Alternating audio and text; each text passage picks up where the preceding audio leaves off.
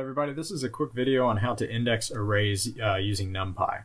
So first and foremost, obviously you're going to want to import NumPy. Here I'm importing it as NP, and all that is is convention. It allows you to type a few less letters every time you call the NumPy library. So everywhere you see NP, I'm actually calling NumPy.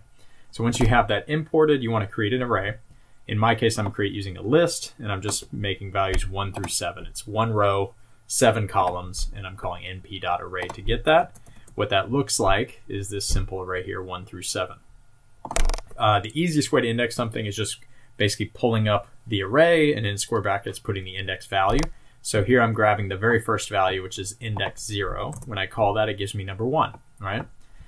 If you want to call the n value, it's a little bit trickier. Uh, the n value is actually listed as negative 1. So if you don't know the n value, you, could obviously just put, I think this is index 6 in this case because it starts at 0 and goes up to 6.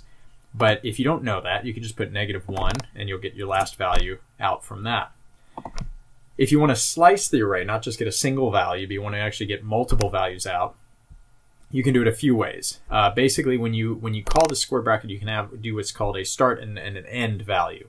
Um, so I could put 1 here, and then it starts here, it ends at 3.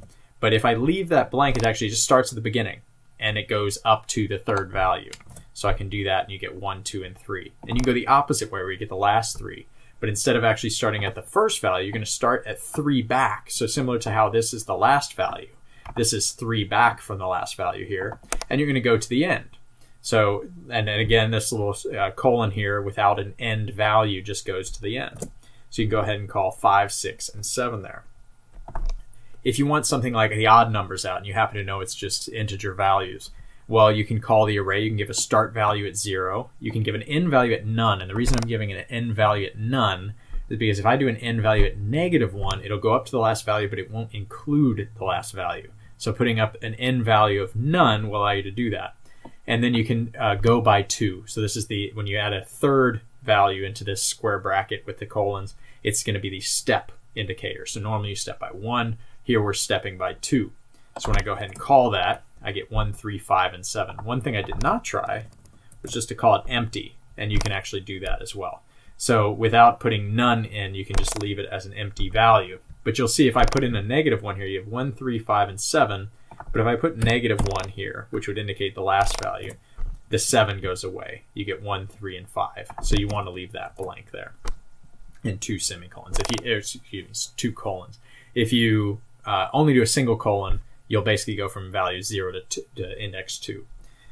So again, here for even numbers, instead of starting at 0, I'm going to start at 1. I'm going to go to none. I'm going to leave none in there just for the sake of visualization. And I'm going to go again step by 2. So we go ahead and call it, and you get 2, 4, and 6. And again, the even values in this array are 2, 4, and 6.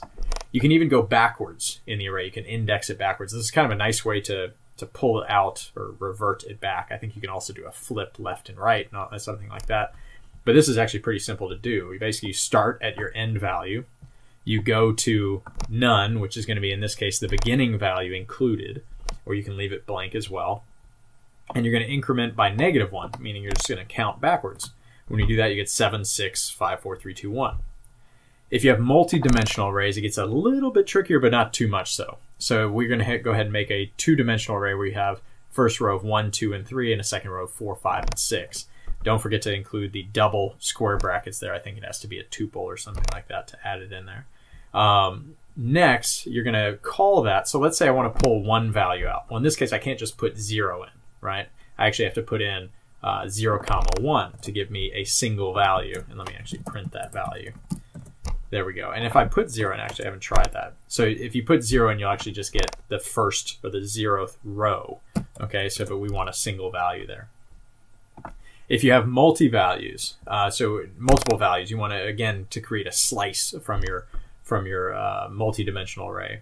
Well, here you're going to do the rows, and here you're going to do the columns. What this means is give me rows zero up to two, and give me columns zero up to two.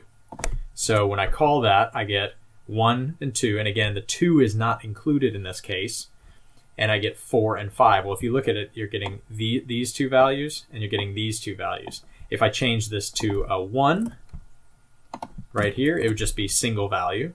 And if I change it to a 3, I believe it will give me everything. There you go. So in our case, let's leave it as a 2. And here we go. And just to give you kind of a kind of grill that in a little bit more, let's say I want only the first row and I want 0 up to 2 columns, I get 1 and 2. And again, it's columns 0, 1, up to 2, but 2 not included.